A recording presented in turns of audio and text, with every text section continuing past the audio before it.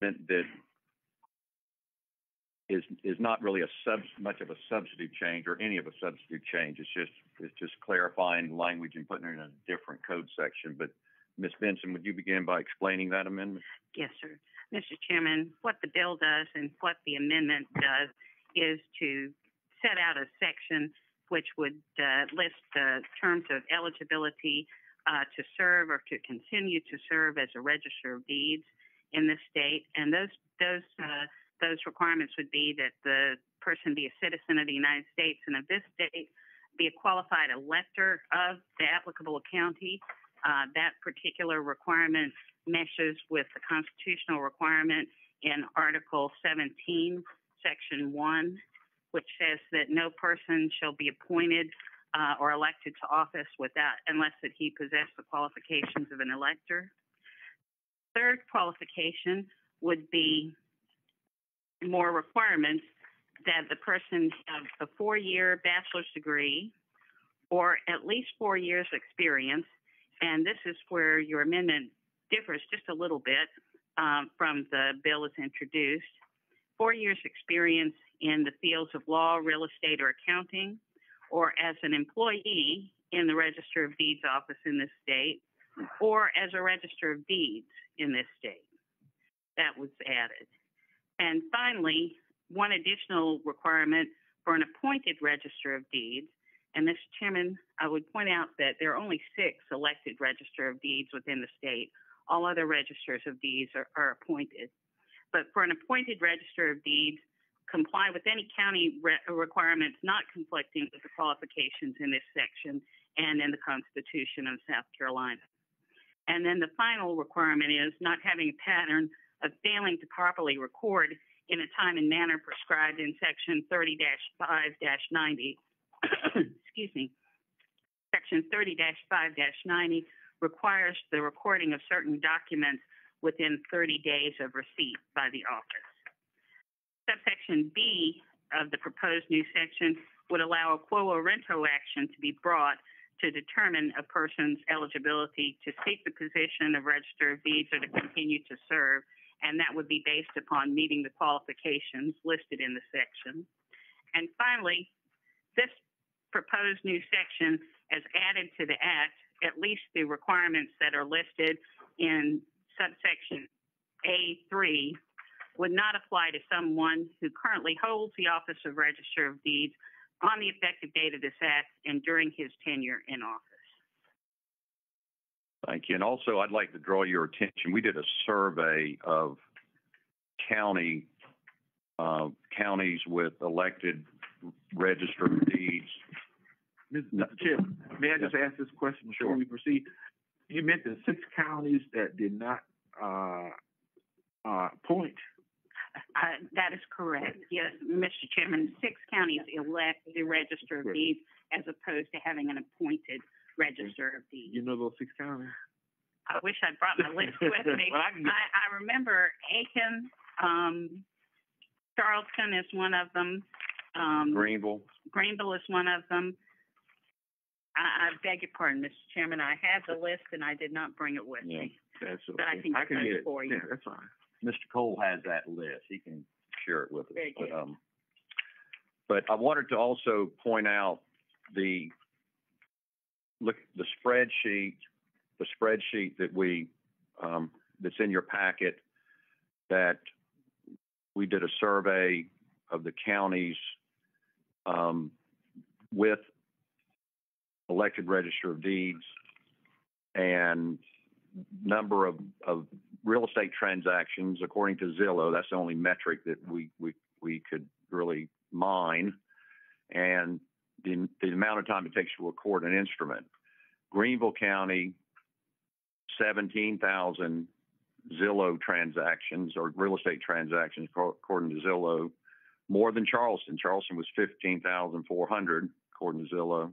Of course, there's more than just deeds and, and mortgages recorded at the Register of Deeds office. Horry County, the the um, the record holder, they twenty six thousand six hundred in the last year. That's that's um, a lot more than Charleston had. Same day in in Horry County, same day in Greenville. And you go down this list and the recordings are the same day, within twenty-four hours, a few of them within a week, and Charleston's fifty-nine days. And the statute requires you to record within thirty days, so just so you know the, the, the magnitude of what's going on there. Um, so, does anyone have any comments and want, opening remarks you want to make?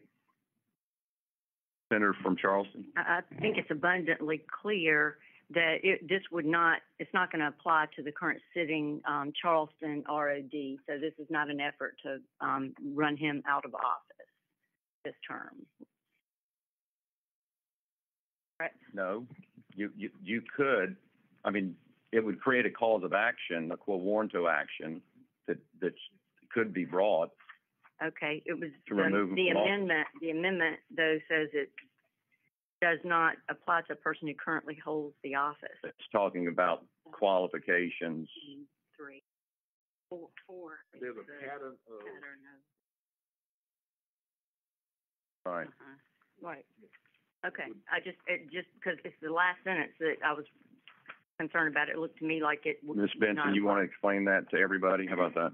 Mr. Chairman, what uh, uh, the current office holders would not be subject to are the provisions in subsection A3, which are the qualifications about, um, and I'm, I'm, yes, A3, which are having the bachelor's degree, the four years experience, and for the appointed register of deeds to comply with county requirements. Um, A4 would apply to current office holders. Thank you. Senator from Greensburg. Thank you, Mr. Chairman. Um, are we saying that an action can be brought based upon past conduct prior to the enactment of this legislation should it pass? Yes.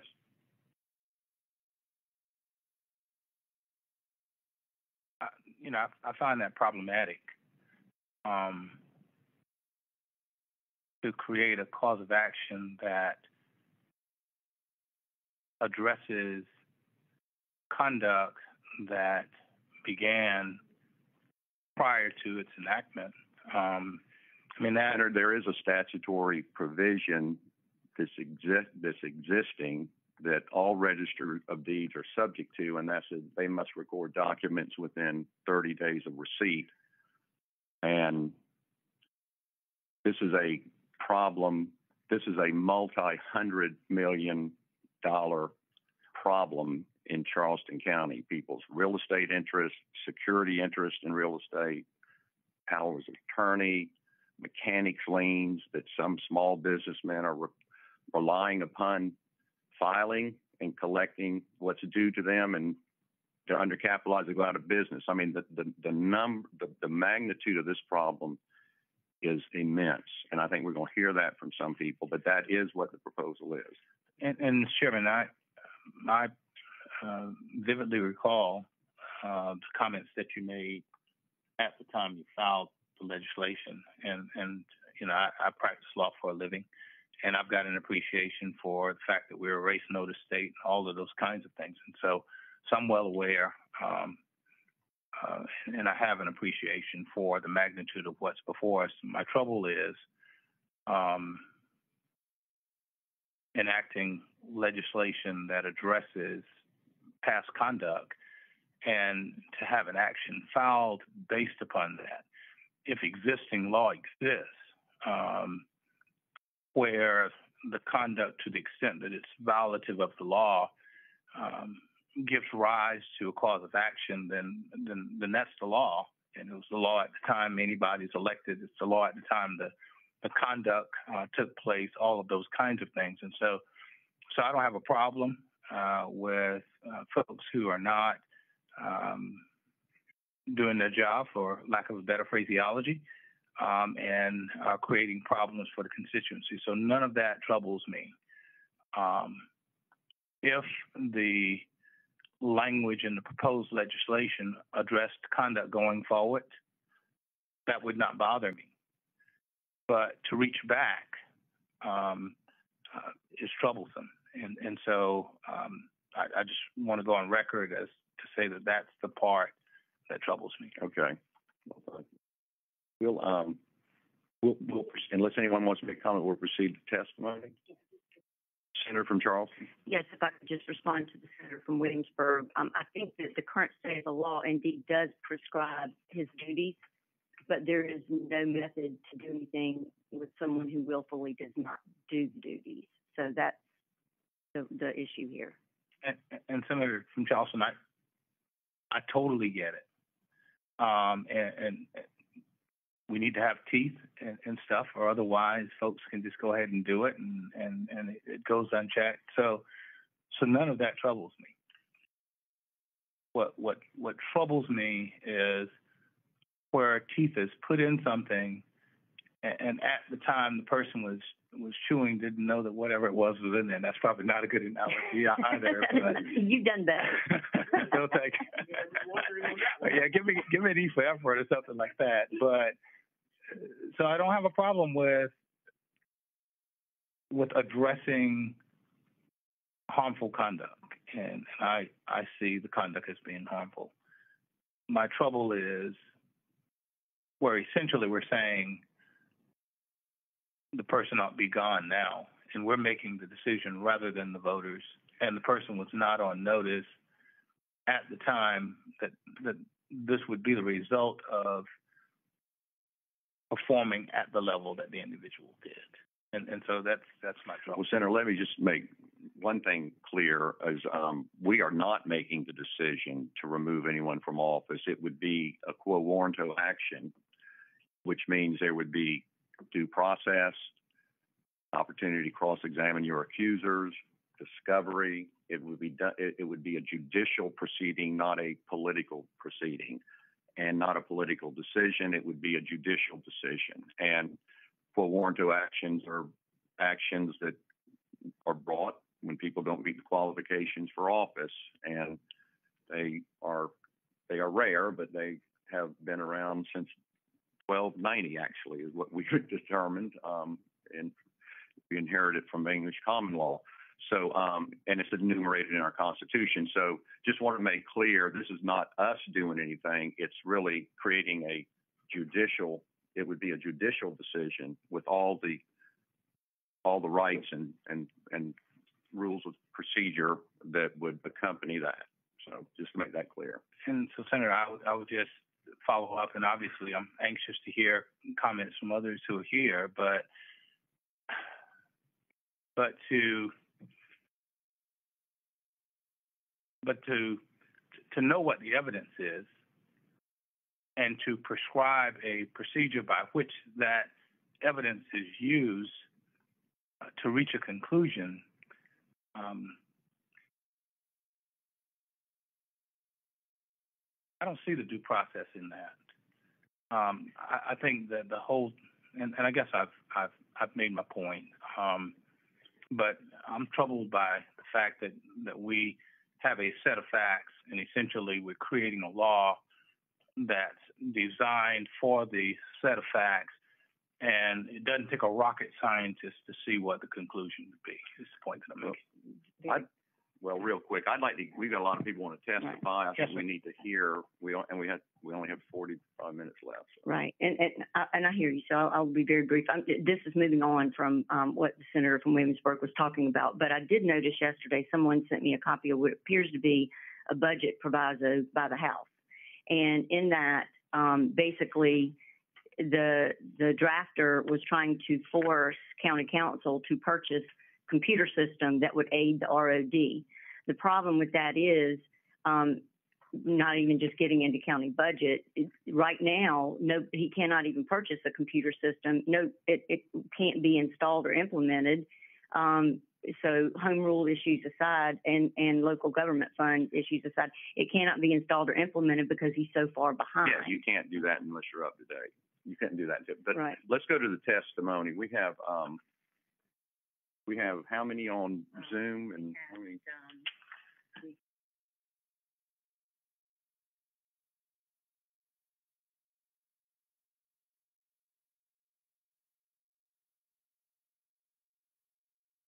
Okay.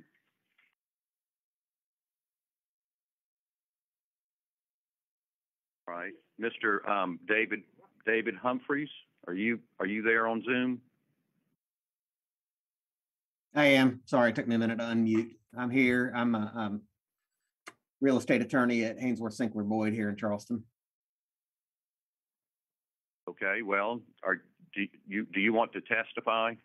Um, well, I, yeah, I definitely uh, am in favor of the bill, and I've talked with a lot of my uh, colleagues in the profession here locally, um, all of whom are exasperated with the situation, all of whom I believe that everyone that I've talked to at least is very much in favor of it. Um, it's you know it's a it's a real problem, um, and it's it's a problem for attorneys, clients, title abstractors, paralegals, um, the the whole real estate industry really.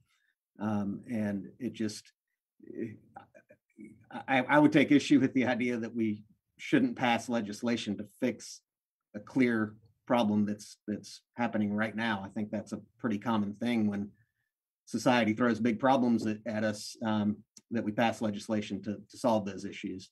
Um, and so we're just sort of at our knees here, trying to do what, what I've been doing since two thousand three and um, practicing law and all of that is very reliant upon a registered deeds office that functions the way the law requires and in a way that that um, we can have our transactions completed and done so in in accordance with what we've always done and what the expectations of the community at large are.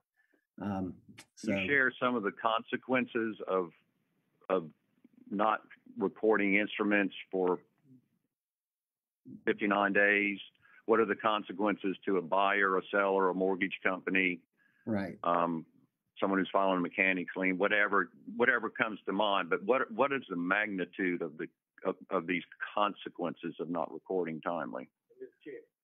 Well, if you've got, um, you know, we are a race notice state, so, so basically the, the idea of recording a deed or a mechanics lien or a mortgage or an easement or anything else is to, to put the world on notice, um, of rights that people have to real estate. And so, um, if you've got a lag between when those documents are signed, you know, typically in a perfect world, you would, um, have a real estate closing and, and record the documents almost immediately.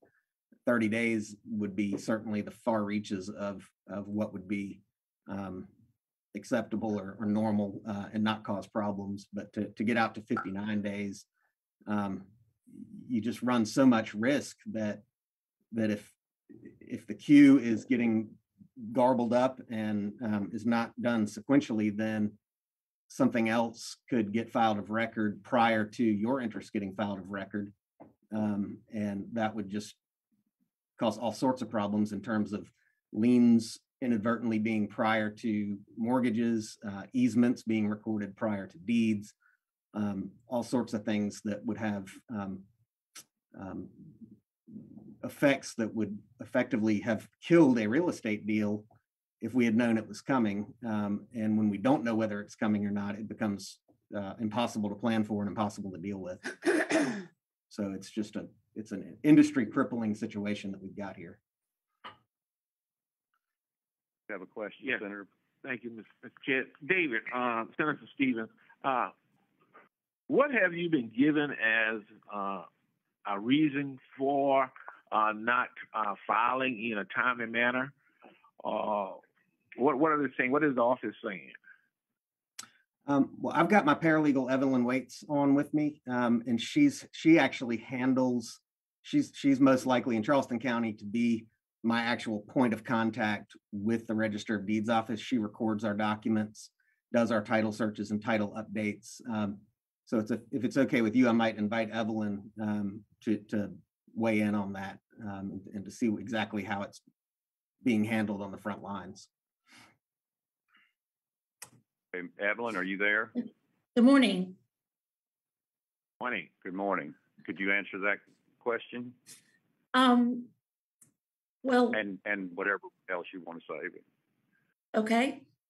Um, examples of the current problems uh, include, uh, despite the uh, statement of being 59 days behind, there are still documents being recorded six from six months ago. I don't know how that happens, um, but they are only recently being recorded. I don't know if they're getting out of order in the bins. I, I don't know the processes behind the scenes that this is happening, but 59 days is not the full picture. Um, there, I have knowledge among my colleagues that certain documents that were taken to be recorded have actually gone missing. The recording checks themselves have been cashed, but their documents still have not been recorded. They are lost. Um, I have seen examples of the uh, the new staff um, who are still basically in training, uh, uh, doing things like satisfying the wrong mortgage. They really have little to no supervision or double checking on the work that they're doing. They have no knowledgeable manager to whom they can ask questions. They are entering incomplete information in the indexing. That limits what we paralegals can find and subsequently report to our attorneys um, uh, as they do their uh, work for lenders and title insurance companies.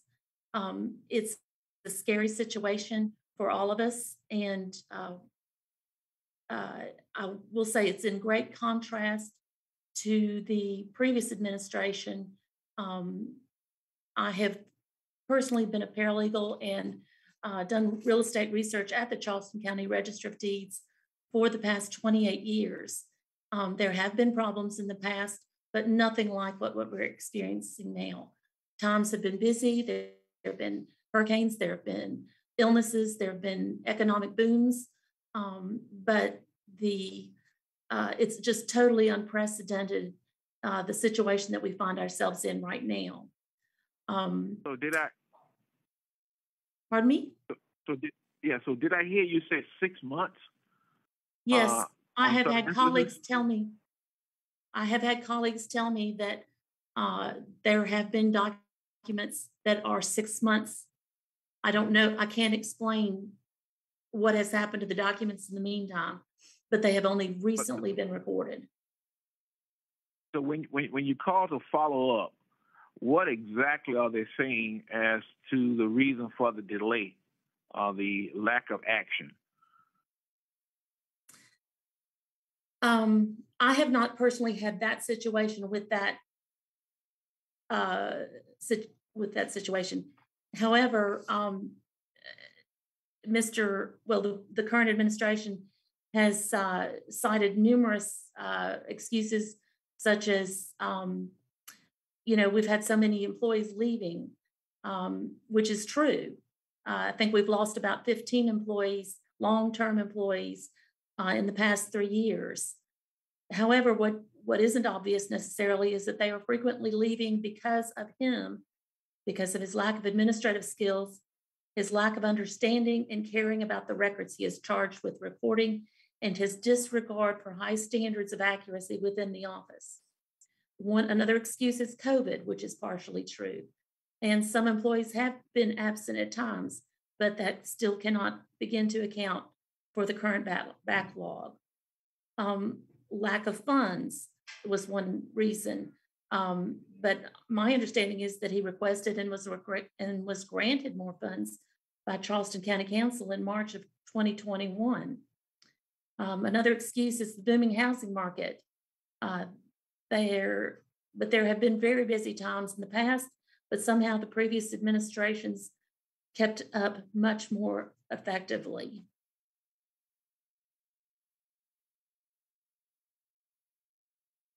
I'd like, Mr. Chairman, I'd like to ask Mr. Humphreys a question, please. Sure.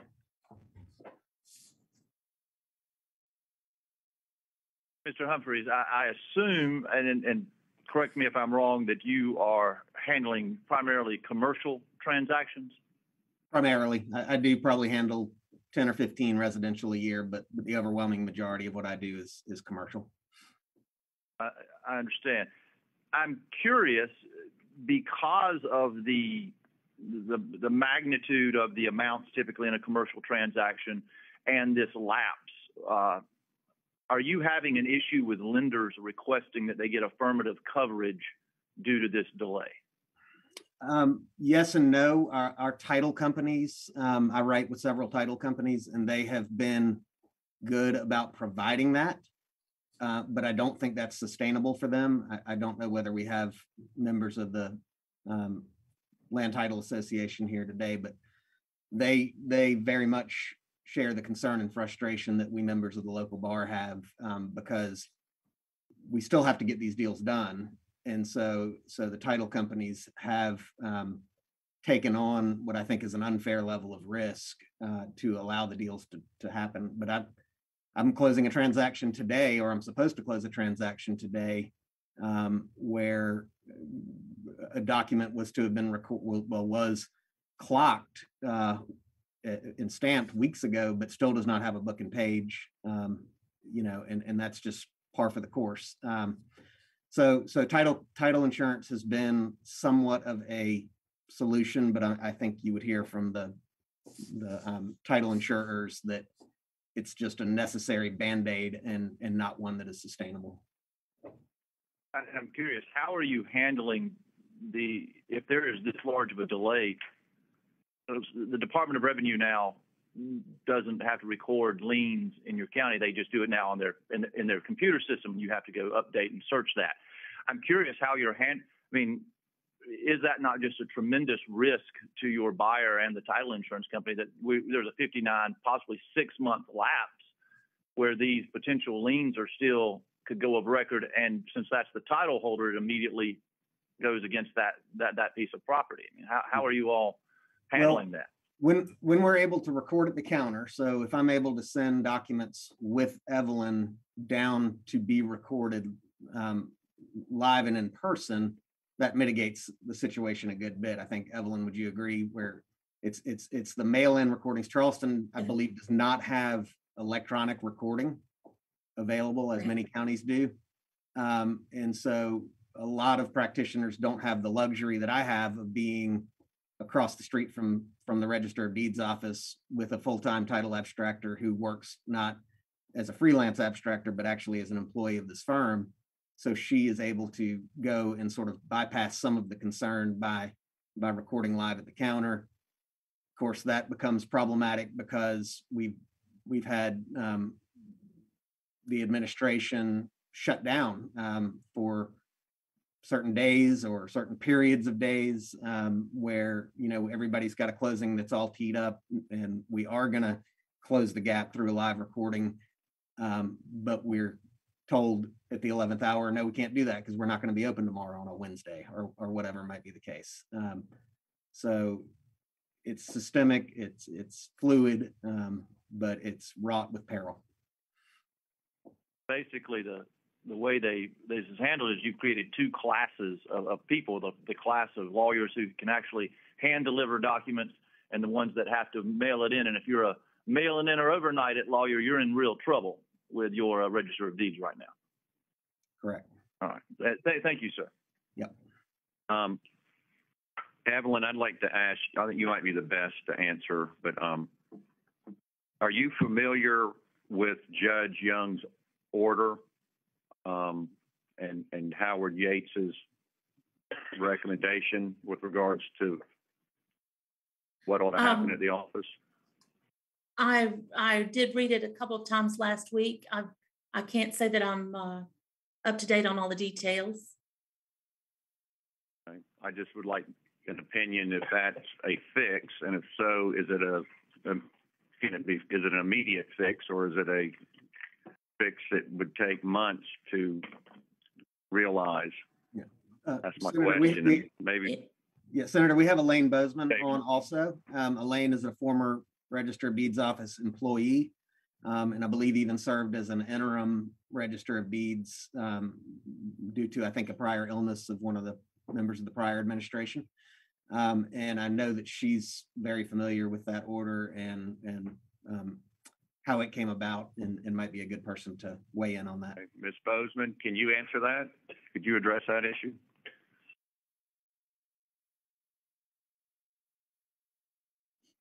Elaine, you're on mute still. I think, try- see if you can find on your screen. Yeah, there we go. Right, am I, am I good now? Um, are you asking my opinion of his fifteen requirements on this order? I'm just asking, will, will it produce, will it make the office operate efficiently? Um, Um, and if so, how long will that, will it take for that to happen? You're very, very experienced in the Register of Deeds office. And so you know the processes. And so is, is that a silver bullet or, or not? Is that going to be a fix? And if so, Well, how have to- long will it take? I have to say, I helped Howard with almost every one of these fifteen items, except for bringing in Dorchester County employees, because that's the way we operated on a daily basis. Um, you know, we, we had experienced employees. You just cannot hire someone in on a Monday and then on Friday, turn them loose, either recording or indexing these documents, because there's so much involved knowing the process of what's going on. So what he's written pretty much is exactly what we were doing to begin with, with experienced employees. And that's, to me, that's the bottom line. Uh, there's just been a mass exodus of our employees because of the working environment there. They they worked under such strict standards under Charlie and myself, Charlie Lybrand, that they knew their jobs, they knew what was required of them, and they did it. We had a massive real estate boom back in 2006, I think it was. We, at the worst, was probably a week behind in indexing, but we were never more than a day and a half to two days behind in recording what came into that office. So it's it's it's not COVID, it's not Hurricane Dorian, it's not masked. It's because he has pretty much run off everybody with any experience. And now he's hiring in these new people that cannot handle the workload that he's seeing. And I do agree with the boom, he was receiving massive amount of uh, FedEx and uh, UPS.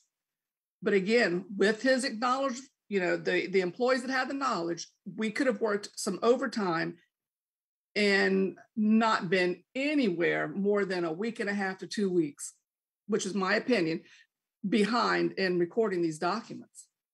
And Evelyn, like she stated, she has seen over her years there how how bad it's been. So um, if you don't have employees that know the state statute or have someone that drives them to do the job that they're hired to do, um, then you're going to be in the mess that this gentleman is in. Thank you. Any further questions? Mr. Chair, is, is Senator from Burke. Yes, sir. Thank you. Is there anyone who's who would testify from Horry County? And the reason I'm asking, what what what prompt that is, as I listen to, uh, and I, I apologize for for not remembering your name, but as I listen to talk much about the work environment, is it is the environment um, toxic between employee to employee or manager to employee? Um, it, you know, I'm going to have to tell you this is hearsay from my past employees that are that work there that have left. Um, that when you come into an office, your first probably I think it was within two months or something that he was not going to promote from within. Um, that made you feel like I'm stagnant. This is it, and then other things started happening about they weren't required to verify documents um, which is a critical thing because we're only human. We make indexing errors. So you have to have someone come in behind you. Um, people were taking leave right and left. I mean, they were all the time taking off. And just to interject, because my thoughts are going all over the place, even have even if he were giving the money to implement the e-filing like these other counties are doing and they're all up to date, you still have to have those experienced employees that know the state statutes, know what's required to index the proper person, the proper real the, the legal description. Um, so, you know, it's not the e-filing, but it is a lot to do with what's going on with the management. And We're getting close, Thank you, ma'am. we're getting close to running out of time for others, but, so, thank you for your, for your testimony, and I want to call some other folks who've signed up to speak. Um, and I, and Mr. Miller is here, he, and he would like to speak. Um, Mr. Miller, I might let you speak at the end when you've heard everything, if that's acceptable to you. I think that might be best. Um, but I'll make sure you have five minutes anyway. Is that sufficient? Yes, sir. Okay, um, Austin Smallwood. Austin with the South Carolina Realtors Association. Okay.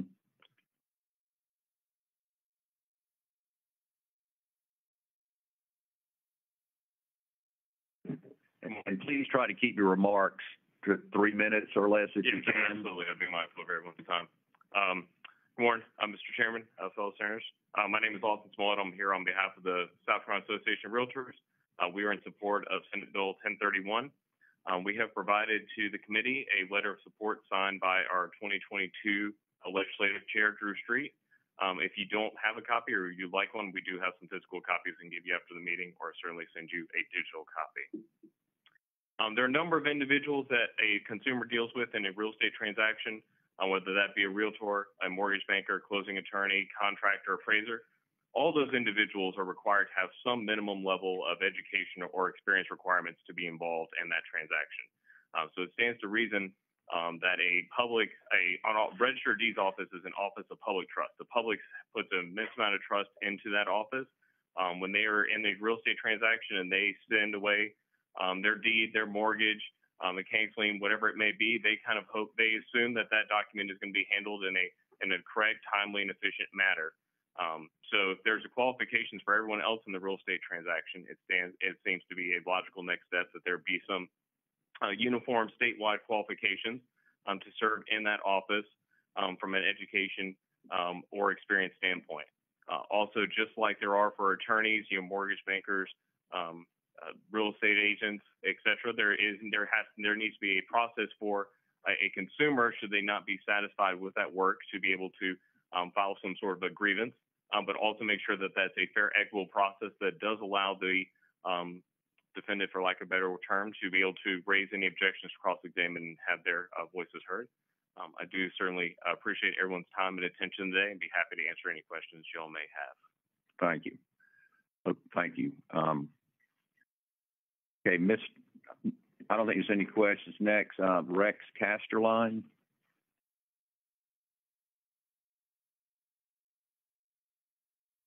Again, try to keep your remarks to three minutes if you can. Happy to do so. Thank you, um, Mr. Chairman. Rex Castellan, I'm a private practitioner, 25 of my 28 years in real estate. I'm in favor of the bill. Uh, speak for all the lawyers in my office, uh, even as amended. I don't intend to be repetitive of what I think my colleagues representing the Palmetto Land Title Association will say. So I'll I'll get to those things that uh, that I think I'm I'm uniquely qualified to address. Most importantly, the discussion about uh, what eventually would be uh, presumed subsection two, the quo warranto action. Uh, I'm I'm strong. I, I understand Senator Sabb's comments. As a lawyer, as a prior litigator, I, I, I understand where he's coming from. But I also find it reprehensible that state statutes exist, and the only recourse now for someone who wants to protect the public and the integrity of not only my profession but the integrity of the entire process is to file a writ. Um, I'm, I'm thankful a writ was filed and it was brought to the attention of everyone that needed uh, needed to give it attention. But if if we're already violating state statutes, and that's the only cause of action, I'm, I'm not sure you should be serving as a public servant. Uh, the statutes existed before the election took place. Statute exists before appointment takes place. And if there is no teeth in enforcing it, I don't know why the statute exists. So I would be in favor of leaving the bill amended uh, to stand and it be submitted that way. Otherwise, I'm in. Uh, I concur with all the prior testimony as to the impact, um, as to the educational requirements or, or experience work level requirements. Um, I'm very thankful that the amount of resources my firm has had to expend in this issue has been somewhat limited because we've only had uh, 40 or so transactions in this time period in Charleston County. It does cost us a lot to continuously have title updates done to make sure nothing gets ahead of our recorded documents. We've personally experienced lengthy delays as much as three and a half months. Um, but, but I'm also thankful that we seem to see the light at the end of the tunnel with Judge Young's order. And um, I, that's all I have to say, Mr. Chairman. Okay, thank you. Any questions? Okay, um, we have two with Palmetto land title. Would, um, if y'all could, again, try to keep it to three minutes. And state your name, please.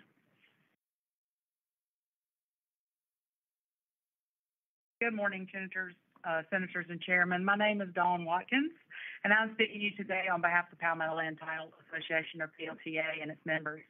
Uh, our membership consists of title abstractors, title companies, attorneys, and title insurance underwriters. Uh, all of our members are closely affected by the manner in which the duties of the register deeds are carried out. Um, I'm an attorney, and I was in private practice for over 19 years, primarily focusing on real estate transactions and I dealt with register deeds offices across the state on a daily basis. Uh, so I am very familiar with how crucial this office is to the consummation of real estate transactions. I'm now, uh, for the last two and a half years, been underwriting counsel uh, for two title insurance companies, which has allowed me to also see the role of the register deeds uh, through a different lens. Historically, we have been served well by those um, in South Carolina who have held the office of the register deeds.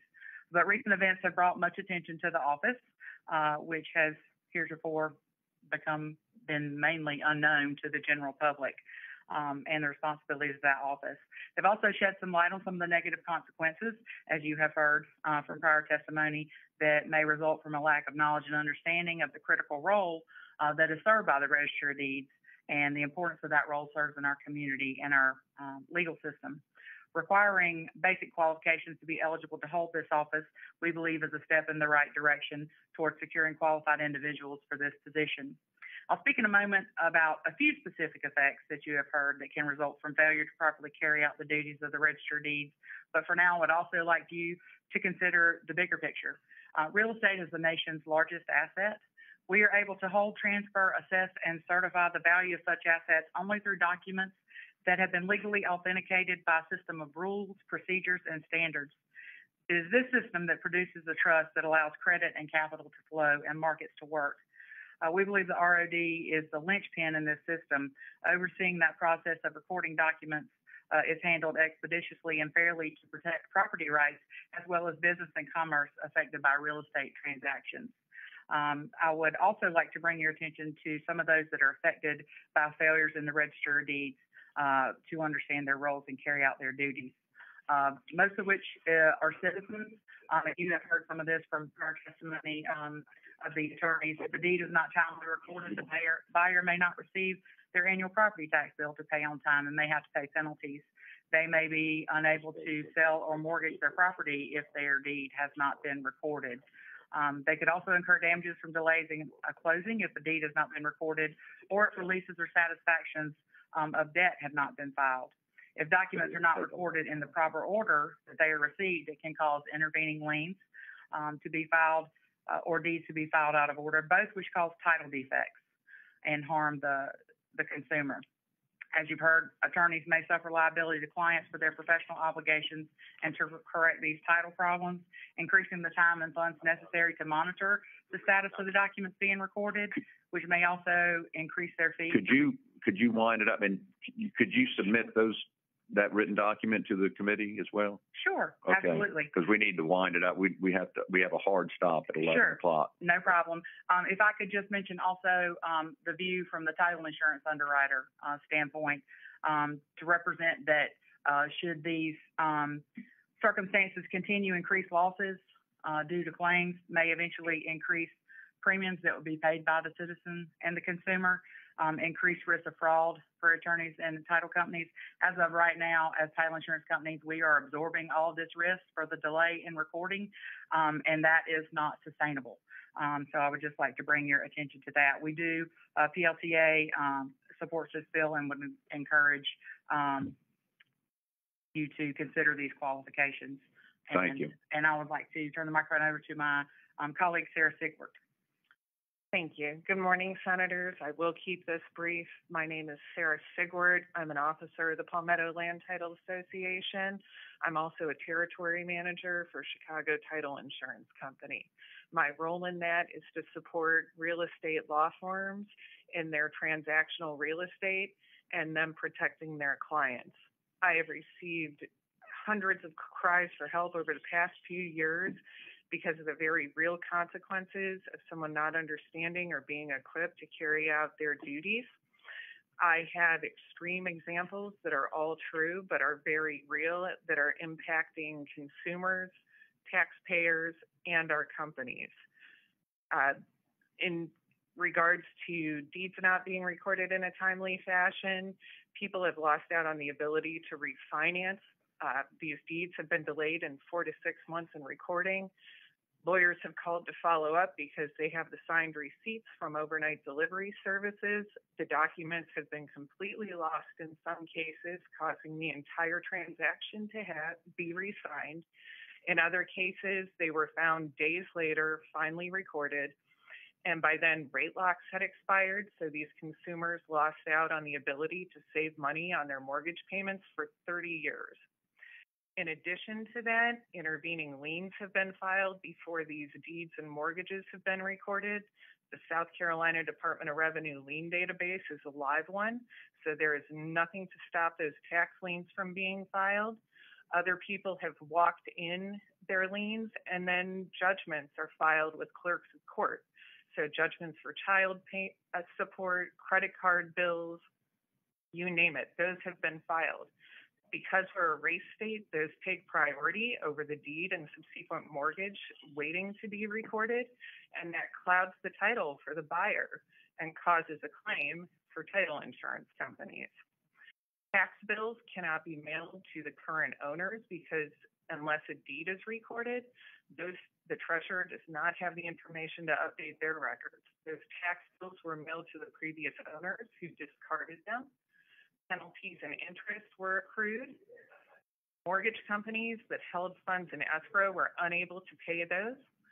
The buyer did not was not able to qualify for a 4% assessment ratio, which is significantly lower than the 6% statutory rate that's automatically applied. So when their mortgage company finally was able to pay the bill, there weren't enough funds in their escrow account. So the mortgage company paid the difference and then turned around and increased the borrower's mortgage payment by hundreds of dollars monthly, hundreds of dollars monthly, because they weren't able to qualify for that 4% assessment ratio.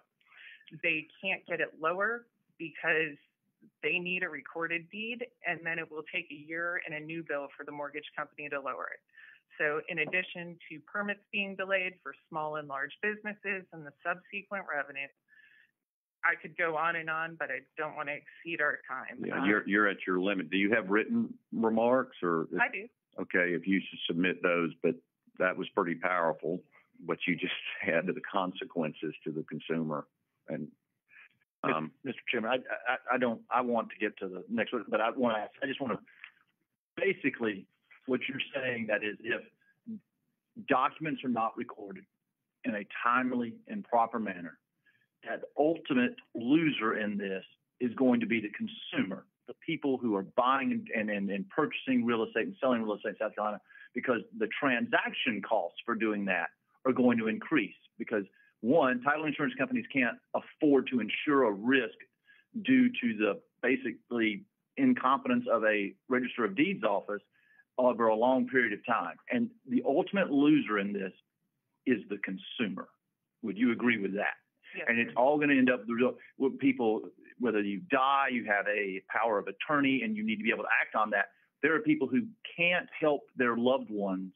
They can't make decisions for their loved ones basically because they can't get a document recorded. Yes, sir. Thank you. thank you. Okay, um, next.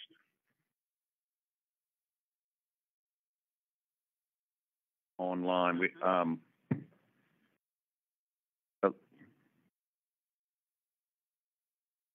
Elaine. Yeah. They, um, yeah, Robert uh, McIntyre, if you could, are you still there virtually? You could give two minutes. I am here. okay, if you could do two minutes. Okay, yes, I am a recent retiree of the office. I've been there for 26 years and I retired December 17th. So I have worked under the administration for the past three years.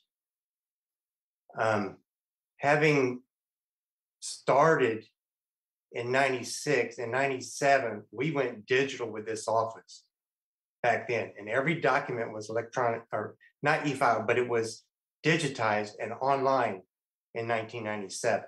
So for all this time, we've been digitized, which is different from e-filing. E-filing is not going to be the savior of this problem because it still has to be able to integrate with our current system in order to issue the book and pages. We have one system doing that right now. You bring in another system. If it doesn't integrate, you're going to have a big problem. And the vendor that I was able to sit in on said it would take six months to implement and to bring the employees up to speed. Now, quickly, a couple of things that were mentioned. Um, some of the reasons for this uh, backlog and delay have been the pandemic. Well, during the pandemic, we were only closed to the public. We employees had two choices. We either came into work or we worked from home. Now, I procured eight laptops for employees to work from home. Everybody else had to come into work.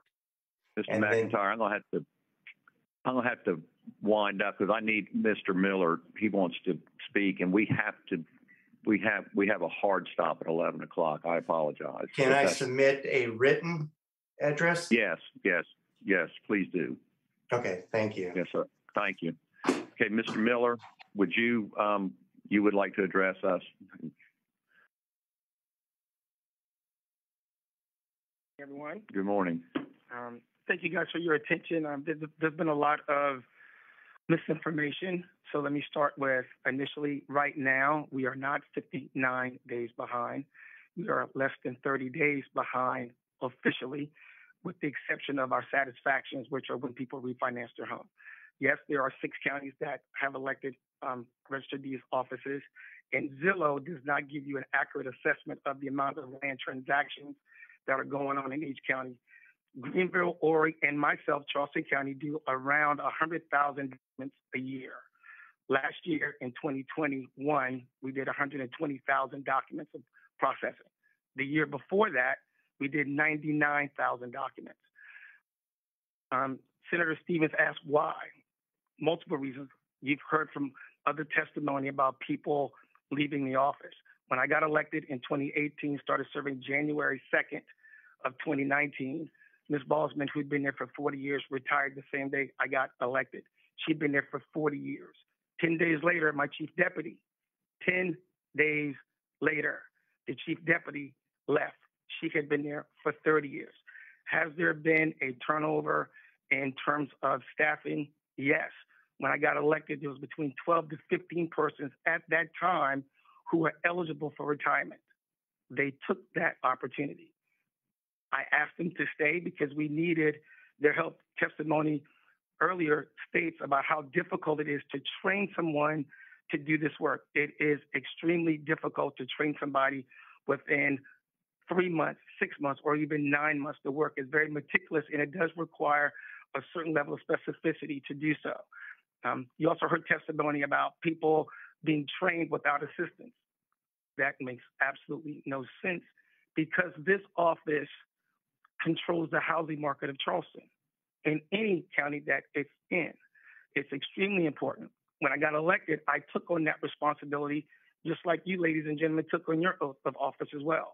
I think we all hold that to our heart and we want to do our best every single day that we come to work. And so my job as a registered deed is to just do that. Has it been difficult?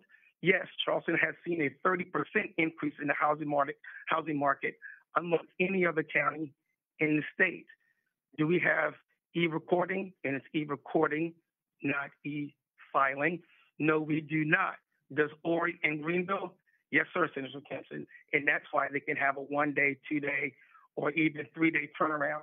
E recording allows every single employee of the office to be cross trained so they can do the work. So it's not just having 22 people working doing separate jobs. Everybody can do every single aspect of the work. To give you how efficient that is, New York City does 2 million documents a year. 2 million documents a year. Their turnaround is less than 24 hours. They have 350 employees. E-recording allows them the opportunity to do that. Senator Kimpson, you also asked about the judge's order. The judge's order simply said Mr. Miller needs more hours of the day and more experienced employees. I would be the first to admit losing over 250 years of institutional knowledge in my office has been extremely difficult to handle. On top of that, COVID. I myself had COVID and was out for two weeks. I have employees who are out today because of COVID. So you take COVID, the, losing of institutional knowledge, and an increased housing market, and then not having the ability to e-record makes it a Herculean effort to do so. My staff has been working diligently to do all they can to mitigate that because we do understand the 30 day mandate by the state. And I have not willfully, nor would I ever do anything that would jeopardize my office, the integrity of the office, or even the importance of what we do every day, not just for the citizens who purchase homes, but for the businesses who support those businesses, those those citizens as well. And so, if there's any other questions, I would like to answer. Any that. questions? Chairman, I have some Senator, questions. Senator, Mr. Miller, I believe when you're talking about e-recording, you're talking about Simplifile. Simplify, Simplifile is one of those vendors that will allow a registry office to e-record. Yes, sir. Certainly. And would you agree with me that when an attorney files using Simplifile or any e-recording, a someone in your registered deeds office has to review that document? Yes, sir.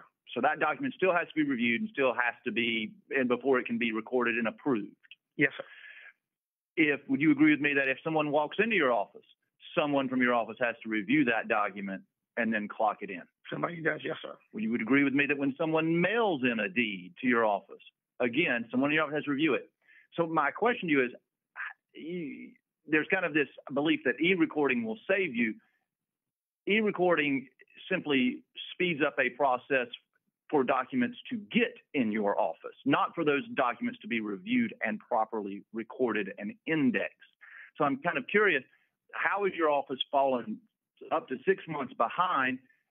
And are, you know, as, as registered deeds, you have to understand the impact that has, right? I mean, we're talking powers of attorney that never get recorded, uh, mortgages, liens that are filed in an interim time frame that put the new owner at risk. The fact that someone can't get a 6% tax rate because they don't have a deed to show the treasurer in there.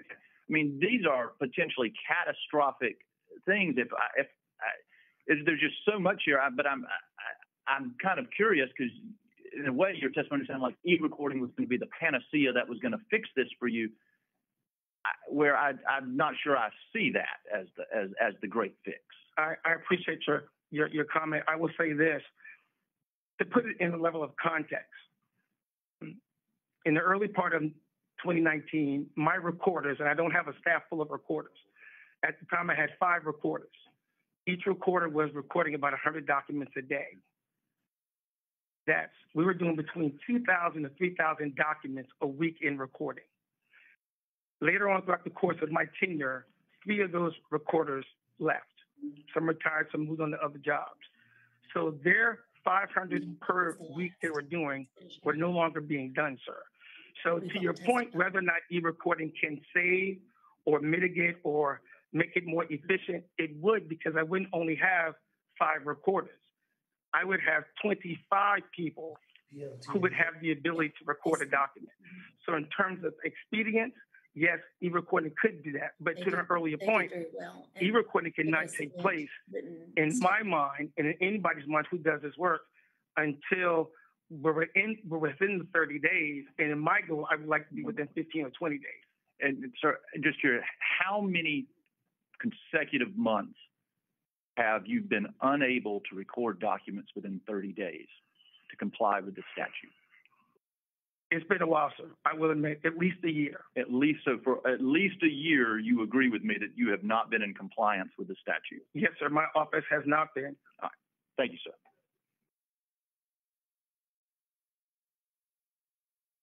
Mr. Chair, can I ask just one question? Yes. When, you- when you came aboard, what was the backlog at that particular time? When I came on, there was no backlog. We had a turnaround of seven to 10, seven to 15 days.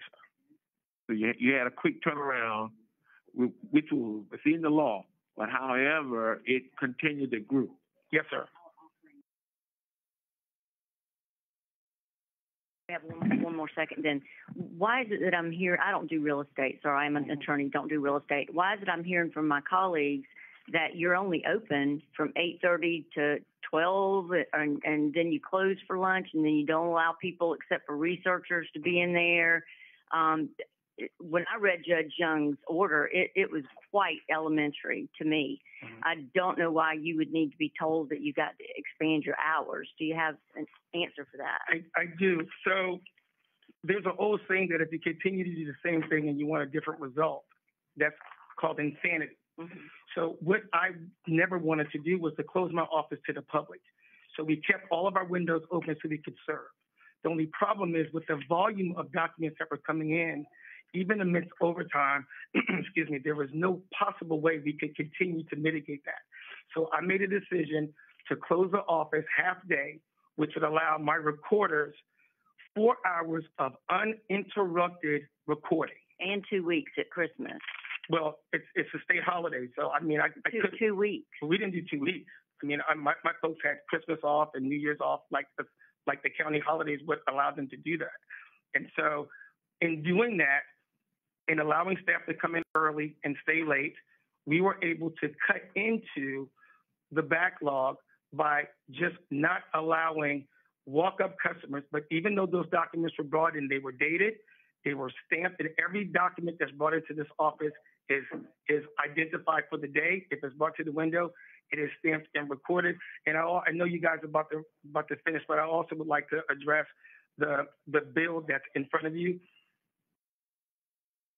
Everyone who does public service work understands the importance of our service and what we do and how important that work is. I am no different. I served as a school board member before I got elected to this position. I wonder what precedent will be taken if additional criteria is placed not just on the register of deeds position in terms of a law degree, four years of background, real estate experience, so on and so forth. What if those same types of criteria were placed on your positions or on the governor's positions, right? If, if They're constitutional offices. We can't add any qualifications yes, to sir. constitutional offices. Yes, sir. In my office, unlike others, or like others, like the county auditor, treasurer, clerk of court, probate judge, we all serve in our serving capacity. All I'm asking is um, that we fully understand, not that you don't, but others who are listening and will potentially see whatever comes of this committee, see the opportunity or the lack of opportunity for them to properly serve their community and their constituents because of a criteria that we set before them, which may not allow them to serve their own communities. I appreciate your time. Thank you so much. Thank you, Mr. Miller. Okay, we are past the time, so we'll stand adjourned.